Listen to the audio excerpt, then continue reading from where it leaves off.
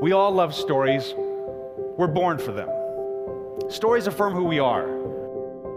We all want affirmations that our lives have meaning. And nothing does a greater affirmation than when we connect through stories.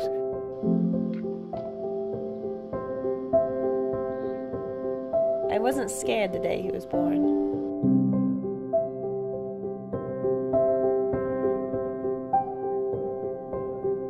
He was the sickest baby on the floor in the unit out of like 82 babies they can hold.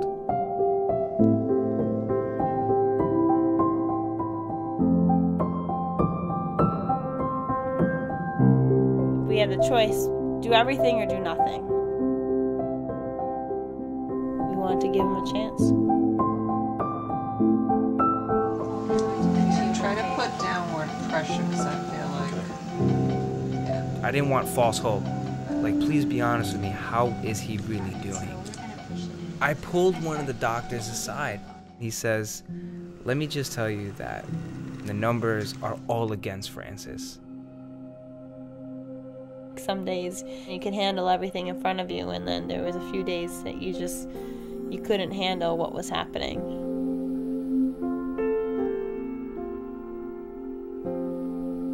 One of our primary nurses gave us a stack of markers and said, Why don't you draw something bright and colorful on his whiteboard, something to make it feel more like home? So we had my sister Janie draw a Finding Nemo theme on the whiteboard. It brought a smile to everybody on that floor who was working that day. Everybody loves Finding Nemo.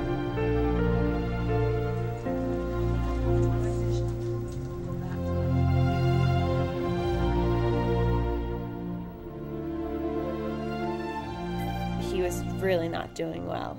Um, and so I, I asked for some extra prayers, and they, sure enough, they came flooding in.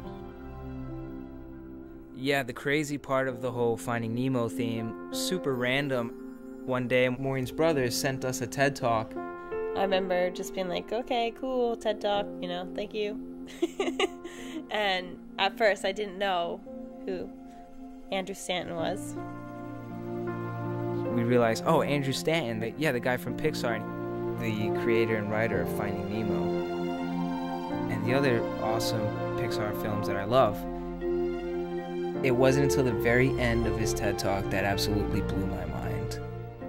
When I was born, I was born premature, that I came out much too early, and I wasn't fully baked. I was very, very sick. And when the doctor took a look at this yellow kid with black teeth, he looked straight at my mom and said, He's not going to live. All of a sudden, Maureen and I are looking at each other like in tears, realizing that, wow, it's amazing, you know, it's amazing that he too was a preemie. It was really inspiring hearing his story and and how much he's amounted to and how much thankfulness he has towards his parents for giving him the chance of life ultimately.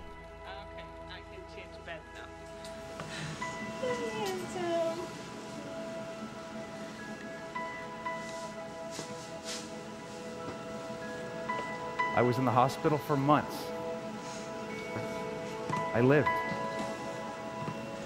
Whatever I ended up being good at, I would strive to be worthy of the second chance I was given. A month later or so, my brother, who sent the TED Talk, called us from California. He had just gotten off the plane. And he said, Guess who I sat next to? Andrew Stanton. My brother showed him some pictures and, and kind of told him about Francis.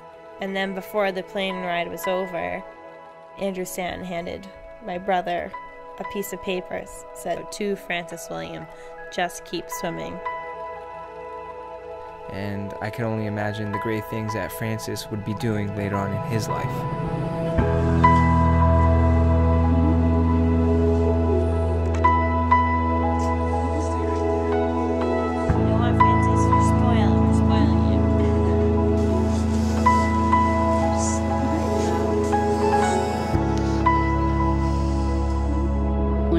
down, you know what you gotta do? I don't wanna know what you gotta do. Just keep swimming, just keep swimming, just keep swimming, swimming, swimming. What do we do? We swim, swim. Dory, no singing.